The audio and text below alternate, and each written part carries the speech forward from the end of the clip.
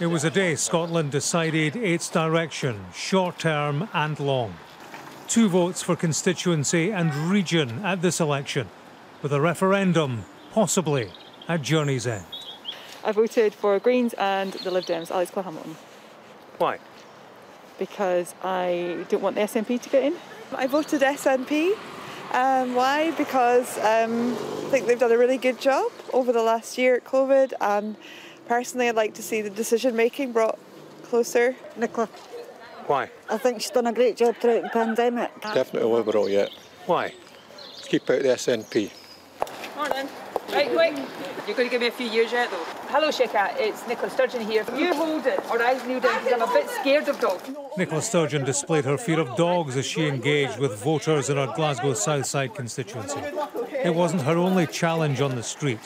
In the midst of positive interactions with members of the public, she was confronted by a rival candidate, convicted racist Jayda Fransen. You're a fascist, you are a racist, and the south side of Glasgow will reject you. Of course they will.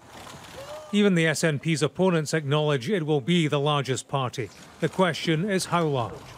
An overall majority in the next Holyrood Parliament would strengthen the platform for a second independence referendum. It's important because of the signal it sends about what Scots want. And that signal is also important in terms of how it strengthens the hand of any First Minister who then turns to the UK government and says, right, well, on the back of this, we want to hold another referendum.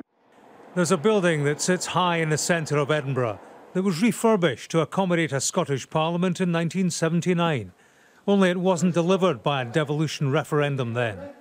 Its chamber never did welcome the Parliament it was designed for.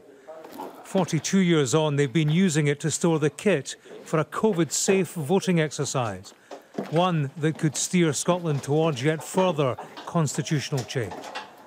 At this election, in the Parliament that does do devolution. The question is, what does it do next?